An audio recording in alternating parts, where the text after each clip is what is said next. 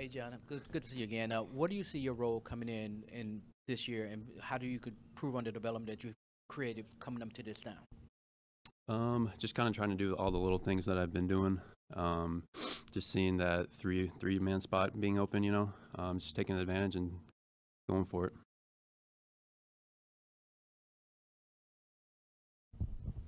Any more tattoos this summer? Uh, no. you had that last year. Yeah. Did you see the video of Ja getting all those tattoos at Yeah. one time? He had like four people tattoo him at the same Do time. Do you think you could do that?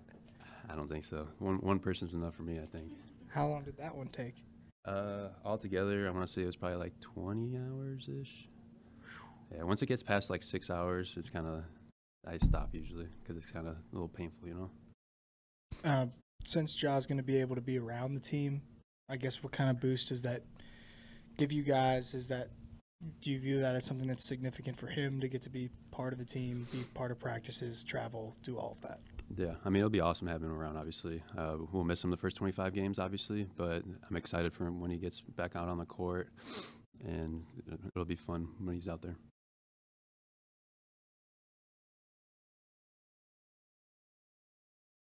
How important is it for you guys to kind of show, and you've done it before through injuries with Ja uh, the last couple of years, but to kind of show that, look, we have what it takes to get through this difficult time of 25 games without our best player. I mean, you guys have known about it for a while now. So, how much are you taking that upon yourselves to show, look, we can get this stuff done and kind of hold down the fort till Ja makes it back? Yeah, I mean it's next man up mentality, really. Like we have a lot of young guys, like Jake, Roddy, Junior, even Ziaire. Like those guys will have to step up, and I think when they step up, it will be really good. Hey, John, what's going on, man? I got a two part question for you.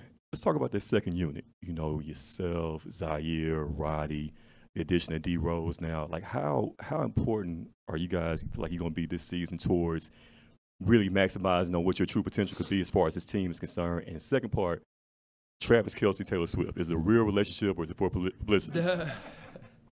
um, I played with Derrick Rose. Uh, we, we played fives a couple, like a week ago, and it was it was awesome.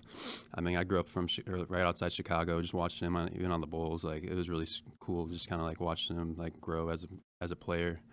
Uh, I'm gonna ask him so many questions. I'm sure um, it'll be fun, just kind of being able to be on the same court as him. And Travis Kelce, I'm, I'm not sure about that.